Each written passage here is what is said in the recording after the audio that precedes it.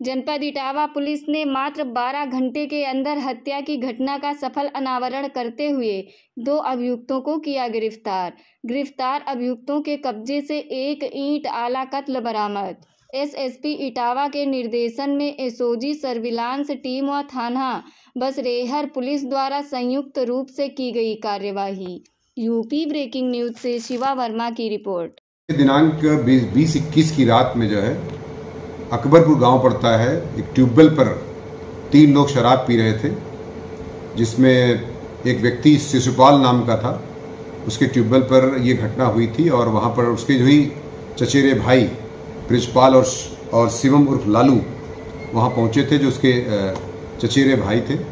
साथी में बैठ के पी रहे थे और शराब के पैसे को लेकर के, कुछ पहले से विवाद उससे थोड़ा बहुत था, लेकिन उस समय इमीडिएट रीजन था कि शराब के पैसे को लेकर और शराब कौन लाएगा और कौन लाया था किसका किसने पैसा खर्च नहीं किया, इस बात को लेकर के बहस हो गई। इस बहस इतनी गंभीर हो गई कि आपस में झगड़ा हो गया और झगड़ा होने पर पास में रखी हुई ईंट से एक दूसरे पर प्रहार करने लगे और इस एक प्रहार में दो जो आपस में चचेरे भाई थे, उन्होंने अपने बड़े वाले पर, चचेरे भाई पर हमला कर दिया, ज़्यादा गंभीरता से हमला कर दिया, जिससे जो है उसकी काफ़ी चोटें आई थी और चोटों के बाद जब उसको देखा इन्होंने कि गंभीर रूप से घायल हो गया तो उसको मोटरसाइकिल लाद करके ले जा रहे थे। रास्ते में उसकी मृत्यु हो गई। फिर डिस्पोज करने का भी प्रयास किया डेड बॉडी को। लेकिन बाद में किसी राहगीर द्वारा देखा गया, जिसकी वजह से ये मामला संज्ञान में आया।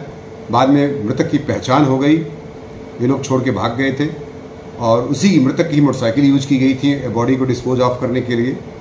लेकिन इसमें बसरेहर पुलिस के थानाध्यक्ष सनत शमित चौधरी और उनकी टीम द्वारा बहुत ही तेज़ी के साथ इसमें कार्रवाई की गई। इसमें सी सैफई और एस पी आर साहब भी मौके पर गए थे। और देख करके तत्काल इस प्रभाव तत्काल प्रभाव से इसमें गंभीरतापूर्वक पूछताछ की गई, जिसमें ब्रजपाल और ये शिवम, संदिग्ध व्यक्ति जिनसे पूछताछ की उन्होंने जुर्म अपना स्वीकार भी कर लिया। तथा ईंट भी बरामद कर ली गई है। साथ ही साथ इसमें वो मोटरसाइकिल भी बरामद कर ली गई है, जिस मोटरसाइकिल से ये लोग बॉडी को डिस्पोज ऑफ़ करने जा रहे थे। और ये एक बहुत ही दुखद घटना है। इसमें व्यक्ति की मृत्यु